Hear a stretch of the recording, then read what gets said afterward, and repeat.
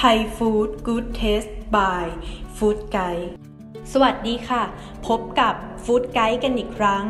วันนี้เรามีอะไรจะมานำเสนอ โปรดติดตามรับชมได้เลยค่ะ ปลาหมึกผัดไข่เค็ม เมนูอาหารไทยที่ทำได้ง่าย และเป็นกับข้าวที่มีสีสันน่ารับประทาน รสชาติดี เค็มนำหวานตาม ความอร่อยอยู่ที่เนื้อปลาหมึกที่มีความกรุบกรอบสดหวาน บวกกับรสชาติเค็มมันจากไข่แดงเค็ม ที่เคลือบไปทั่วปลาหมึก คุณค่าทางโภชนาการ ในปลาหมึกจะมีกรดไขมันกลุ่มโอเมก้า 3 อยู่สูงมาก แม้ว่าปลาหมึกจะมีคอเลสเตอรอลที่สูง แต่โอเมก้า 3 ที่มีอยู่ในปลาหมึกนั้น จะไปช่วยต่อต้านไม่ให้ร่างกายมีคอเลสเตอรอลสูงขึ้นได้อีก และยังพบว่าคอเลสเตอรอลที่มีอยู่ในปลาหมึกนั้น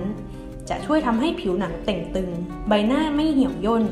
อีกทั้งยังมีคอลลาเจนค่อนข้างสูง ซึ่งดีต่อสุขภาพร่างกายด้วย ไข่อุดมไปด้วยโปรตีนคุณภาพดี และกรดอะมิโนสำคัญอีก 9 ชนิด เป็นแหล่งโคลีนที่ดี ซึ่งโคลีนอยู่ในกลุ่มของวิตามิน B ที่ช่วยในการควบคุมการทำงานของระบบประสาทสมอง และระบบไหลเวียนของเลือด ช่วยป้องกันเลือดจับตัวเป็นก้อน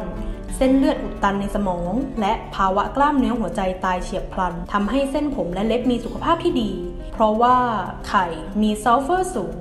รวมถึงยังมีวิตามินและแร่ธาตุอีกหลายชนิด ส่วนผสมที่ใช้ได้แก่ เนื้อปลาหมึก ไข่เค็ม กระเทียม พริกหยวกหั่นชิ้น พริกบด หอมใหญ่ซอย น้ำตาล น้ำปลา น้ำมันหอย ซีอิ๊วขาว ซอสหอยนางรม ต้นหอมและน้ำมันพืช วิธีการทำปลาหมึกผัดไข่เค็ม ขั้นแรก ตั้งกระทะรอให้ร้อน ใส่น้ำมันพืชลงไป จากนั้นใส่กระเทียมลงไปผัด ตามด้วยปลาหมึกและไข่เค็ม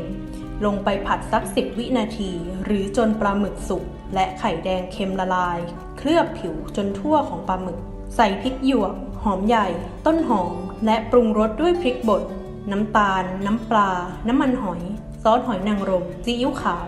ผัดให้เข้ากันจนสุก จนสีเริ่มเปลี่ยนเป็นสีส้มน่ารับประทาน ก็ตักขึ้นใส่จานรับประทานได้เลย ก็จบไปแล้วนะคะสำหรับการนำเสนอในครั้งนี้ ในคลิปต่อไป ทางเราจะนำเรื่องอะไรมานำเสนอ โปรดติดตามรับชมกันด้วยนะคะ